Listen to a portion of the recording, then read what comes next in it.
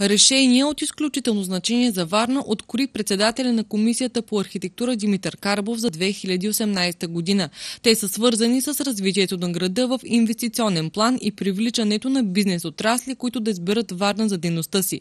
Представителят на Националният фронт за спасение на България в Общински съвет Варна Димитър Карбов обясни как взетите решения по време на Комисията по архитектура ще повлияят на развитието на Варна през 2019 година. Най-важните решения бяха свързани с две строителни забрани, които Общинския съвет взе решение да бъдат предложени от кмета на град Варна на Министерството на регионалното развитие и министъра, който има това право да ги отмени.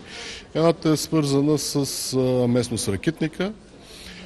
Там в частност се засяга предстоящия строеж на пристанището, което ще бъде отредено за рибарски нужди, рибарското пристанище на карантината и една територия, която от години спира инвестиционни намерения, не само на собственици, но и на желаящи, които искат да инвестират в този район на Варна който е в южната част, а в общия устройствен план на град Варна тази част е залегнала като бъдещото развитие на града по отношение на жилищата.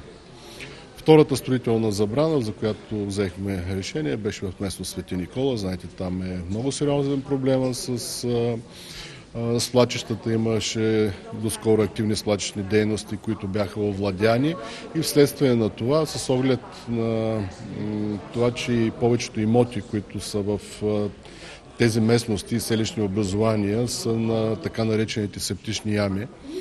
Аз мисля, че това е една подходяща превенция, за да ограничим разпространението и просмукването на води в земята, с което допълнително се така възбуждат изплачените дейности. През 2018 година в Комисията по архитектура към Общински съвет Варна са били обсъждани и гласувани решения във връзка с създаването на индустриални зони в южната част на града и по-специално островната част под Аспаруховия мост.